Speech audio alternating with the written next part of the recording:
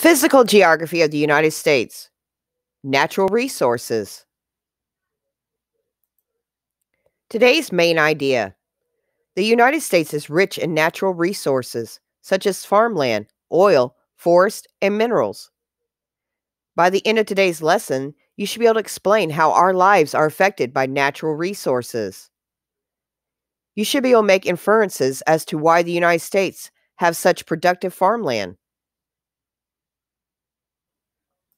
The United States is extremely rich in natural resources.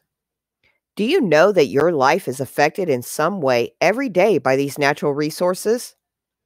For example, if you ate bread today, it was probably made with wheat grown in the fertile soils of the interior plains. If you rode in a car or on a bus recently, you may have used gasoline from Alaska, California, or Louisiana. The United States is a major oil producer, but uses more oil than it produces. In fact, we import more than one fourth of the oil we use. Valuable non renewable natural resources are mined in the Appalachian and Rockies. One resource, coal, supplies the energy for about a third of the electricity produced in the United States.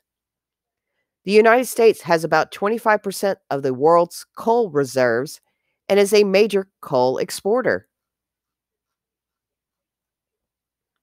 Other important resources include forest and farmland, which cover much of the country. The trees in our forest provide timber that is used in constructing buildings.